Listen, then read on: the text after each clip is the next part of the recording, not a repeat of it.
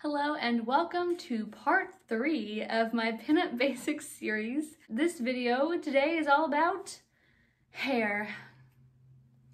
Um, in my last two videos, I covered clothing, how to build a vintage wardrobe, just starting from scratch, and then um, in part two, I covered accessories, what kinds of things you should buy when you're starting out. And today we're going to talk about just the basics of vintage hair and what kinds of things you need to get started. So let's start with our supplies here. In my little vintage tin here, I've got a couple of things and I'm just gonna pull them out um, as I go. So this one is not a must, but it's just something that I used like um, today. And um, I think it's a good idea to keep in your purse or whatever, your car, just some dry shampoo. This is nothing fancy. I got this from the Dollar General or like dollar store and it actually smells really good. It's just nice to have when you need texture in your hair and maybe your hair is a little greasy, you know, um, with vintage sets, sometimes you'll wear them for a couple of days. I have typically pretty dry hair, so I mostly use this for like just texture and volume. This is a volume and fullness dry shampoo, so it's specifically meant for that. Um, another thing that I use all the time, I actually didn't use today because I haven't put any product in my hair because later on I'm going to show you how to do some things with your hair. But pretty much every single day I use this Suavecita pomade. It smells so good. And um, this just helps tame flyaways and frizz, which you're probably gonna have a lot of with vintage hair. And it also helps with hold. And like normally I would have teased this some and then I would use this and it would help to just like keep that back there where I want it. If I pull my hair off to the side like this, which I do often, kind of helps me slick all of that back. You don't want to use too much of this, don't go crazy. Like a little goes a long way. I've had this one container for, I don't know, almost a year. and like it's still pretty darn full another Suavecita product, which I lost my lid to. But this is the grooming spray. And this stuff smells great too, which is just a bonus. And also works really well. Um, I put this in my hair when I do wet sets or sometimes even before I use um, heat on my hair too. It's not really, um, you know, a heat protectant or anything. I just like that. It gives me a little extra hold and it smells good but you don't have to use that. Um, obviously, you can go to any drugstore or beauty supply store and get whatever pomade, wax type product you want. Um, you can get whatever um, setting lotion you want. Those are just what I have. Another thing I like to have handy is clips. Now I have some like duckbill clips that I'll show you in a second um, that I use for actually pin curling my hair. But these um, just are a little more heavy duty and they hold a lot more hair at once. So when I'm like sectioning off large pieces of hair, this actually helps hold them up better. Um, I got these on Amazon, real cheap. Came with like a huge number of them. I will honestly never use half of them because it gives you, they gave you so many and I really don't have that much hair. My next item here is a very essential pinup hairstyling, vintage hairstyling item, which I just bought these on Amazon actually because I was kind of running low. I didn't have enough. There's nothing worse than getting halfway through pin curling your hair and realizing that you don't have enough clips yet to finish. Yeah, it really stinks. So I have a couple different sizes in this. I just got this pack on Amazon. I'll link it below. And it came with a little container, which is nice. And it has a bunch of different sizes. So first we have alligator clips, duckbill clips, whatever you want to call them. But like a more rectangular one right here. Very simple. Um, these are good for um, whether you're using heat or whether you're using a wet set. If you want to pin curl your wet set instead of using rollers, these are good. Um, and then it came with a second size, which is a little bit skinnier.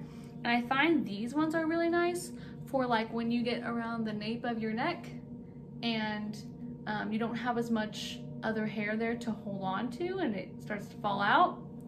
These have a much better grip on them. They're a little skinnier, so easier to slide through your curl. And they've got kind of like, I don't know if you can see that, but they've got teeth on them. So they grip a little bit better. So I like those a lot. And then these I use more so for like styling purposes. If you're doing waves and you wanna help kind of set the wave in, you're doing like a page boy type style, this is when you're gonna want something like this, which is like um, a duckbill clip like I showed you before, but a lot longer, skinnier version of that. So I have enough to do my hair and extra. So it's awesome. I think I only paid, I don't know, less than $10 for this whole thing. And this isn't even all of them. So those are a definite must have. Now, when you're pin curling your hair, you can also use, it's not highly recommended that you use this, but when I started out, I didn't have anything else. So I would sometimes use bobby pins. And even now, there are times where I'll use rollers or I'll use um, the clips like I just showed you, the pin curl clips, and one of them will still be kind of sagging or going in a different direction that I want it to, and I'll kind of tighten it down. So it's not like you can never use these. Um, they have that little crimped part on there, and sometimes that tends to leave like dents in your hair that you don't want. They just don't typically give you the look that you want. Another item here that's pretty essential for me is a comb. Now, I have like a ton of these. I always keep like, I have two smaller ones like this that I like keep in my purse or my car or whatever, so I can just, you know, touch up wherever I'm at, you know, do a little teasing, whatever.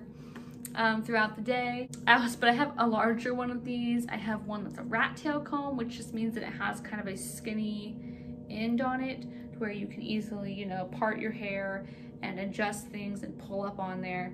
Um, some of them have kind of like the three-pronged wire at the um, at the end or like middle prongs at the end. Do the same thing with those. Um, but this works just fine for me. I don't feel like it's necessary that you have to have a rat tail comb. You can also get um, a teasing brush, which has, you know, very stiff bristles. Um, and that's all gonna depend on the type of hair you have.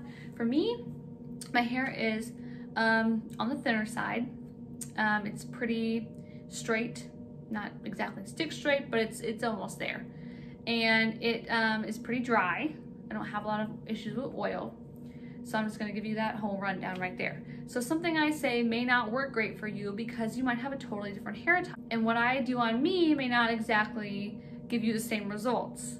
So the first thing you wanna do is figure out what your hair type is and think about that. So something um, that like a comb like this may not work for teasing your hair if you have this very thick, heavy hair. This may not do the, do the trick. So you might have to try a different thing. But I mean, you can get all these types of tools at a beauty supply store like Sally's, at uh, on Amazon, at even like at Walmart. You can totally go and go to your different any drugstore and find these things. These aren't like um, you know hard to find. The next thing that I like to use, and there's different forms of these, um, is rollers. When I do a wet set, I don't really like to pin curl. I just feel like I lose a lot of volume and I'm not the best at it. Um, it's one thing when you're using a curling iron and then you roll, um, which I'm gonna try to insert a little clip here of what that looks like because I did my hair before doing this video.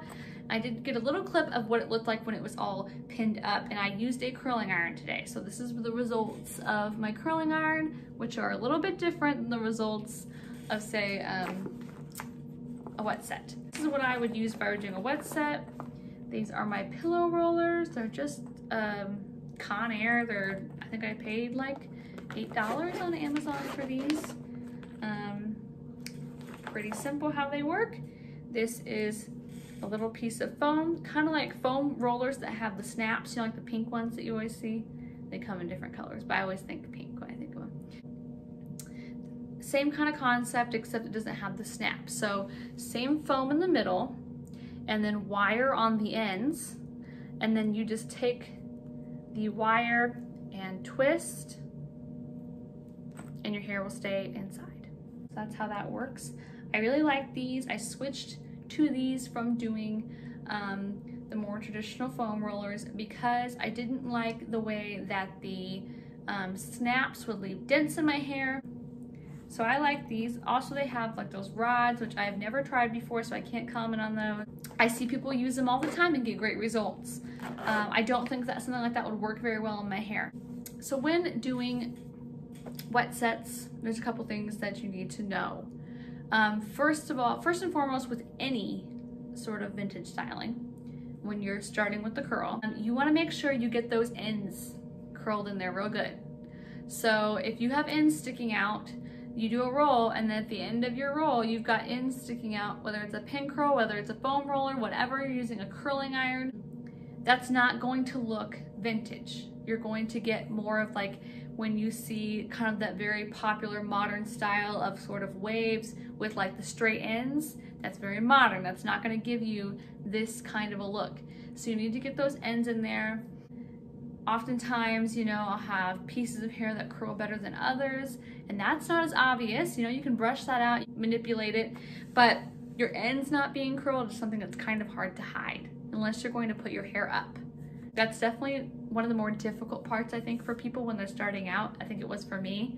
Trying to do any kind of roll, even if you're doing one as a style. So say you're doing like victory rolls or a barrel roll in the front, and you're just putting it up, it's not even just to curl it that can be an issue if you don't already have your hair curled. So if you're gonna do something like that, even if you plan on leaving the rest of your hair kind of straight, like if you're putting it in a ponytail or something, I suggest just curling it with the curling iron a little bit. The second thing is that when using a wet set, you don't wanna use too much moisture. Okay, so you do not want your hair sopping wet because it's gonna take forever to dry, first of all. Second of all, it is not going to really give you the results that you want. You're gonna go to brush it out and if you don't have it dry all the way, but you know it feels dry on the outside and then you take it out, you really can't go back and fix that. You know, if you've already taken out all your curls, all your pin curls or all your um, rollers, it's kind of hard to go back from that point. And if it's still wet, it's not gonna stay curled. It's not going to be fully set the way you want it to. It's kind of like baking a cake if you um, look in the oven, oh, well, it looks really good. Then you take it out, you stick a toothpick in it, you check it, well, the inside's still goo. So when you go to cut that cake, it's gonna fall apart. So you wanna make sure that your hair is fully set. That also goes um, with when you're using heat. A Conair Walmart curling iron I've had forever. It actually probably, oh, it doesn't look dirty, good. um, this is a very, I think this is a half inch, half inch? Yes. I think this is a half inch, maybe smaller than that.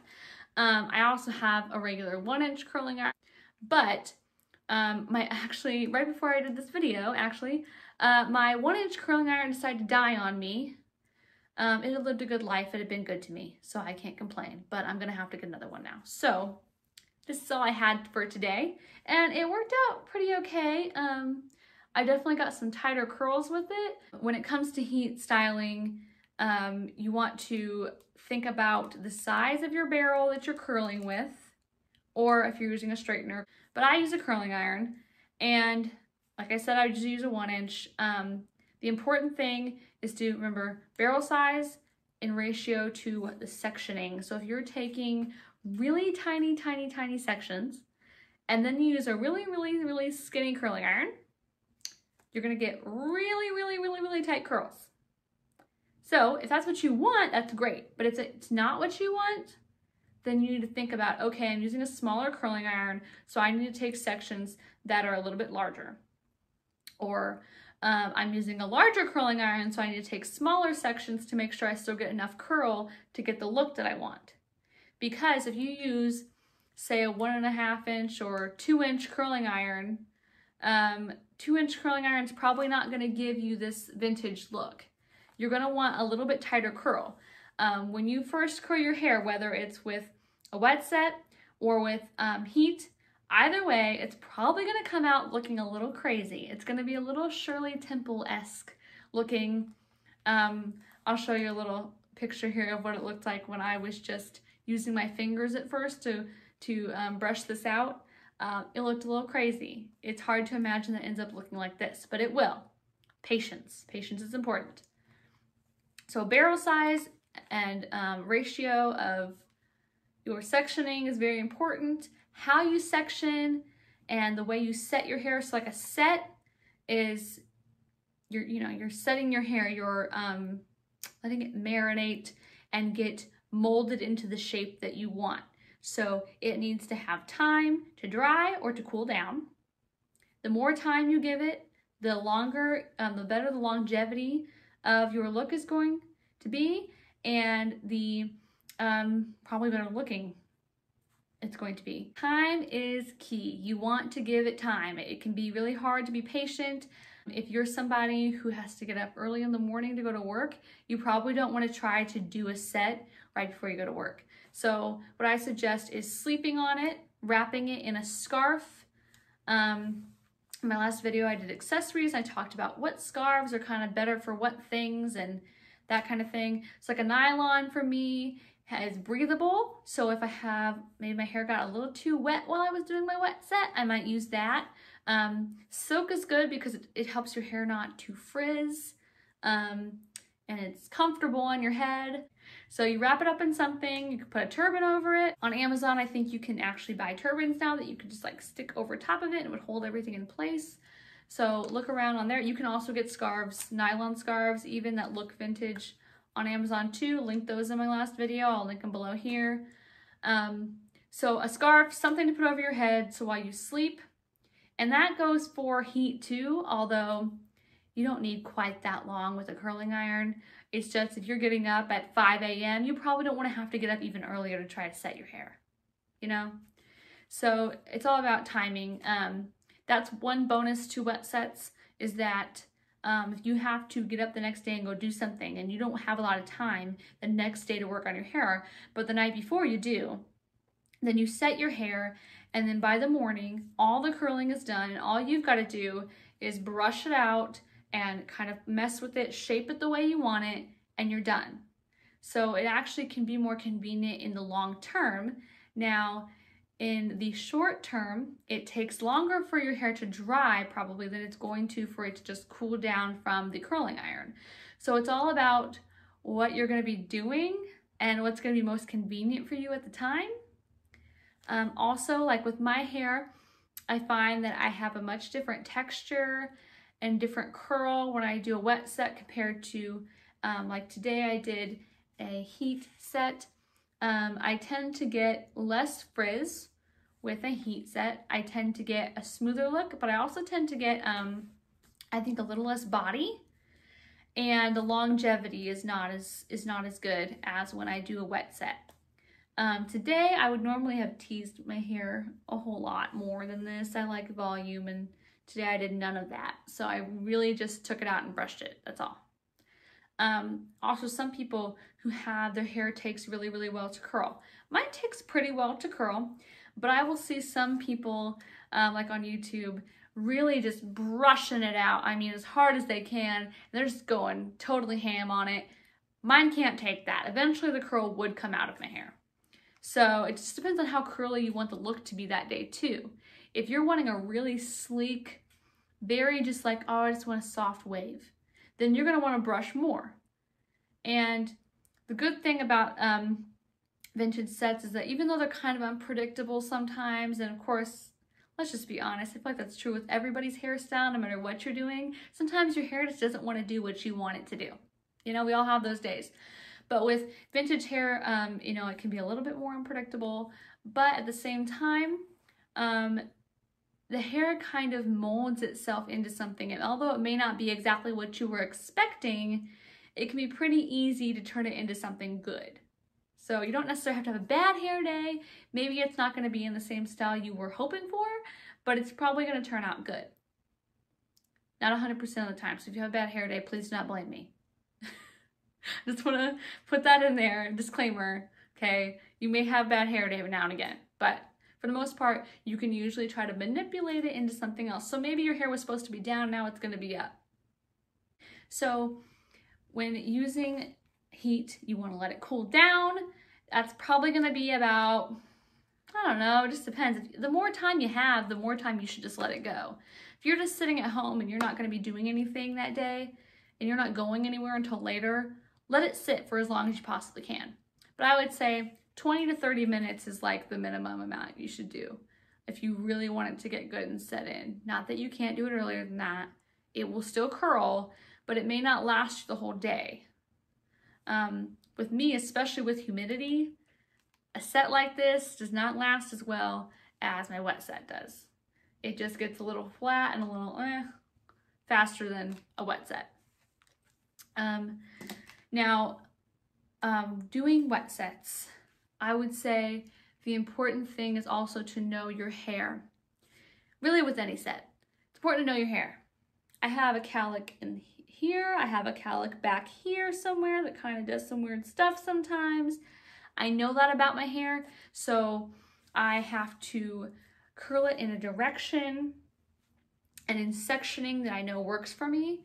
And this is something you might just have to play around with a little bit because I can't give you the perfect formula for your hair if we have different hair. So I can't just say, okay, do these three steps and your hair will turn out exactly like mine. It's just not how it works. But um, I can promise you that if you practice, you will get better at it. And do not be discouraged if the first time you do it, it doesn't turn out exactly the way you had planned.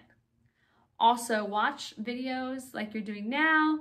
Um, look at pictures and figure out what type of look you really like because vintage hair, even within vintage hair and even within vintage clothing, there is different styles that might suit you or flatter you more than others. So if you're someone who likes to have bangs, then make sure that you figured out how you want to style your bangs. If you're someone who likes to have your hair out of your face, you might want an updo of some kind. Um, or something where it's more sweeping backward instead of forward, something like that. Um, also, you might have a job where one style is more suited than another. So come up with a couple different styles that are easy for you and then practice them, practice them, practice them. We'll show you real quick just a few simple things. Like I know when most people think of vintage hair, um, they think about barrel, barrel rolls and um, victory rolls and things like that. And um, those are super fun, but you gotta conquer the basics of curling and getting the foundation right. Um, and then you can start doing more fun things. So first I'm gonna show you how I would do a front barrel roll here. So I'm gonna put my little comb here and my bobby pin. Gonna section it.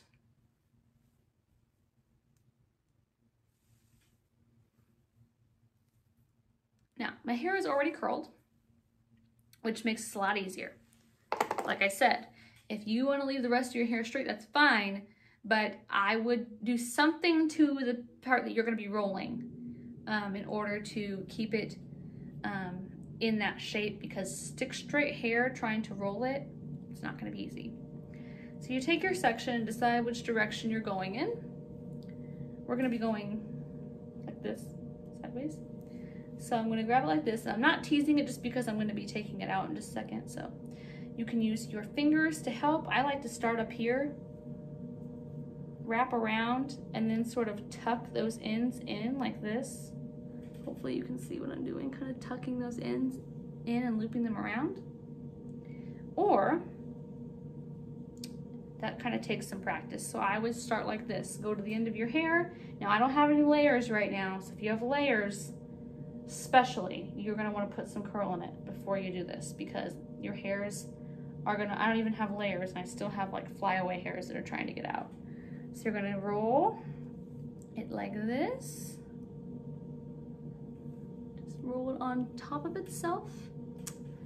And then, oh, it's right here, right up on the bottom, there it is.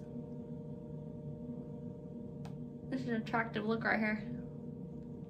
Oh yeah, super cute. And now I only have a couple bobby pins on me right now. Um, there's different things you could do from here. So you can manipulate this. I just put one bobby pin in there. I don't have very heavy hair, so normally, you know, if I were gonna wear this out, I'd put more in there to secure it, but since I'm just showing you real quick, I can turn that into bangs to kind of faux bumper bangs. Now you can also get a hair rat or Um, you can get like one of those um, bun things, you know, the things you roll down, they make a bun, um, and cut it in half. It's the same thing as a hair rat. And then cut it to your liking and use that. Take a large section. I don't have one currently with me because mine kind of like unraveled and fell apart finally, so I have to get another one. This is just not a good week for my hair st styling tools for some reason. It's like I decided to film this video and they decided to die. anyway, so if you had one, you could do even bigger bumper bangs that would wrap around all the way around here. Um, and I will get one and I will do a video on that when I get a new one. But for right now, I'm just gonna talk you through it. So you would just take a larger U-shaped section of hair, pull it out like I did with this, but you would roll it around the hair rat until you got to the end and then pin it to your head. And then you would kind of um, sweep the hair across it to cover it up. It's especially easy if you have darker hair. With me, it's a little harder to hide. So if you have like blonde or red hair like I do, lighter hair, um, you might find a little more difficult. I think they might have different shades of them though, depending on where you go. Don't take my word for it, but I, I feel like I have seen some that are for like blonde hair. That would be a little easier to hide. But with this, pretty simple, just a little mini bumper bang kind of look here. Um, so you can turn your roll into that. So like maybe your bangs aren't working so well that day, you just pin them up. Also would look cute with an updo. Or, and see now it's kind of doing it on its own because I already curled it that way. Or, um, and I will do some videos on this. So again, I'm gonna roll it up. This time I'm gonna kind of take it and twist it to the side, kind of laying it flat.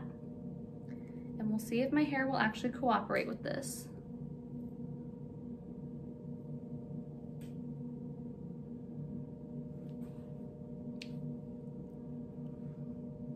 May be difficult without more bobby pins, but, and you always try to hide them the best you can, but sometimes it's a little difficult um, especially if you're like me, like I said, if you don't have dark hair and you have dark bobby pins, they're just, it's hard to get them completely invisible. You know, even this one is sort of meant to be my hair color and it's still not totally hidden. But you just do the best you can. And again, I would have teased this so it would look a little different, but this is sort of a, they call it a suicide roll, which it does not, um, again, the teasing would help it cooperate a little better, but you see, it's sort of a fanned out, flat roll that is sort of a bang. So you can do that. And again, the premise of all of this is rolling it and then just turning it or manipulating it. So if you can get down the roll part, you're good. So again, I'm just gonna roll it the way I like to do it. You can start from the end so you can start from the end like this, use two fingers, that's usually about the width you want. Get those ends tucked, and I like to pinch it. Pinch it where those ends are so I know they're in there good. And then I just switch fingers. Pinch, pinch, swoop, pinch, pinch, swoop.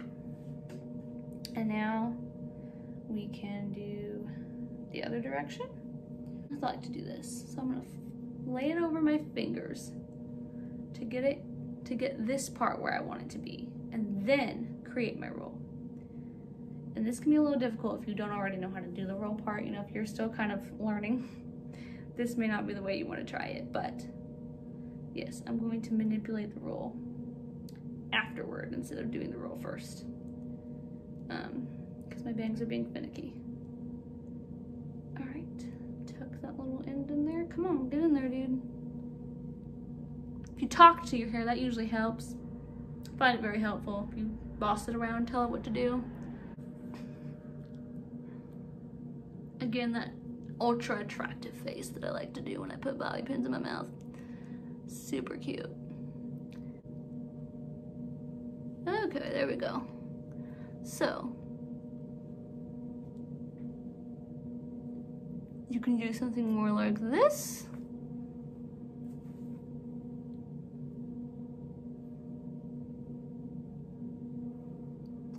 Obviously a little more neat than that. Kind of a backward roll. And then of course there's victory rolls, which is more of a half up thing. So I'm just gonna take my thumb here, put it next to my ear, pull up a section. See if I can fit my hair in here. I'm not used to having this much hair. Um, roll it just like I did with the others. And backwards way. Now, I don't usually wear victory rolls, I'll be honest. It's been a minute since I've done this. So now that I've got it tucked, as you can see, this is all nice and smooth against my head and the whole thing is rolled. So now I kind of have this little like rabbit hole here. And that's where I'm gonna stick bobby pin down into that to anchor it. Also hides the bobby pin pretty well. And there we go. Now, when you're done, you may also, on a typical day, want to tease this area right here. As you can see, like I have this part right here where my hair likes to separate.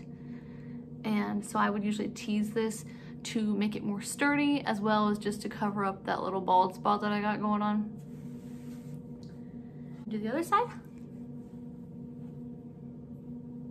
And even if you have bangs, you can still do this, but you're gonna, the teasing is gonna help cover up any little hairs if you have bangs, um, like side swept bangs. Um, and then also product like the Suavecita pomade, something like a wax or a pomade is going to come in handy with helping all of this get smoothed out and stay. Especially if you have bangs. So I'm gonna take a section over here, try to make them pretty equal.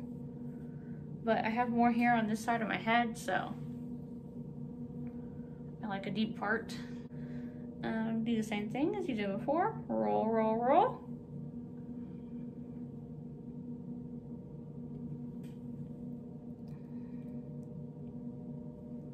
And pin. And obviously if I were gonna go out I would need more pins in this because this would not hold up very well. Then you wanna go back in, adjust your curls. I like to use a comb.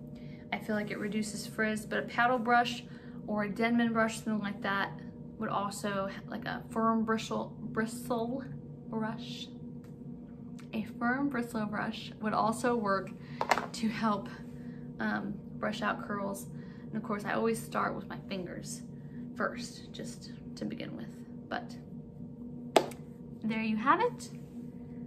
And all of those things can be incorporated into updos, into um, and hair looks for your hair is down. And also you could do just one side. You could do something different with your bangs. I often like to just do like a pin curl if I want a certain look to my bangs, they're not doing it. Like I don't like what this looks like over here. I could just take this hair roll it, manipulate it, and kind of pin it like that where I want it. So it's another way that knowing how to do pin curls kind of comes in handy because it helps you in the process of curling the hair and the process of styling it, whether you're putting it up or not. So that is all of my tips and tricks. Um, I will do a hair tutorial soon. Um, and I'd love to know what kinds of stuff you want to see. If there's something in particular that you want to know how to do, um, please comment below and I will figure out how to do it and I will make a video of it. Thank you so much for watching this video. If you liked it, please give it a thumbs up. I'd really appreciate it. And if you want to see more videos like this, all you have to do is come over here and click on my face and it will take you to where you can subscribe, hit that little bell so that you get notified every time I upload a new video or you can go watch part two of this series, which is Pinup Basics, by clicking on this rectangle over here. Go to my playlist. There's also a part one, which is on clothing.